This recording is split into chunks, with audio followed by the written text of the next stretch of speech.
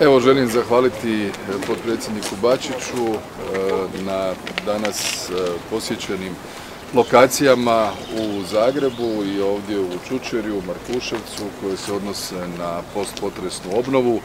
Vidjeli smo obnovu jedne zgrade u Đorđićevoj sa 25 stambenih jedinica, konstrukcijska obnova u samom centru grada gdje e, država, odnosno grad Zagreb, participiraju zajednički sa ukupno 80 tisuća eura, od toga 64 tisuće su iz državnog proračuna. E, projekt kakvih ima niz u središtu grada Zagreba, dakle 360 takvih, više stambenih zgrada koje su stradale u potresu i koje će omogućiti našim sugrađanima da dugoročno osiguraju protupotresnu zaštitu njihovih zgrada, da im se obnove njihovi stanovi i da e, normalno žive e, desetljećima nakon ove važne i cjelovite, cjelovitog i čvrstog pristupa obnovi.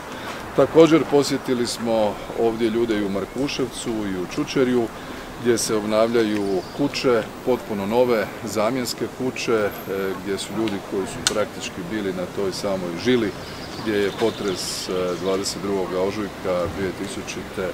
najjače udario i te su zgrade, odnosno njihove kuće morale biti uklonjene, srušene, izgrađene su potpuno nove, e, po najvišim standardima, zaista visoke kvalitete i vidim da su ljudi itekako zadovoljni.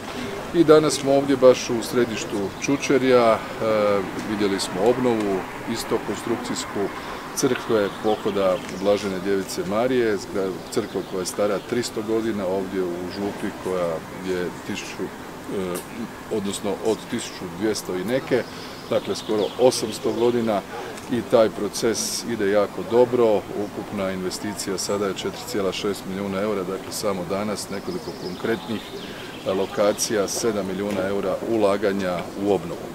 To je samo dio velikoga mozaika procesa obnove kojeg vodimo u Zagrebu preko 3000 obnovljenih lokacija, dakle obnovljenih, različiti stupnjevi obnovljenih, još brojni projekti koji traju, sve skupa angažirano 2,5 milijarde eura, milijarda 140 milijuna koja je vezana za fond solidarnosti, milijarda 140 milijuna eura vezana za nacionalni plan oporavka i otpornosti, još 300 milijuna eura nacionalnih sredstava i kada evo obilazeći brojne te lokacije, ta gradilišta, kad vidimo koliko je velik taj napor obnove e, škola, obnove fakulteta, obnove bolnica, obnove javnih zgrada, obnove sakralnih objekata, obnove više stambenih zgrada, izgradnje potpuno novih zamjenskih kuća, izgradnje više stambenih zgrada, osobito na Banovini gdje ih se gradi koliko na točno sve skupo. Znači 56.